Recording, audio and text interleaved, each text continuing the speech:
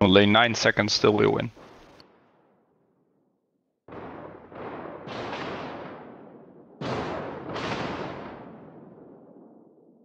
Good job, guys. Great job.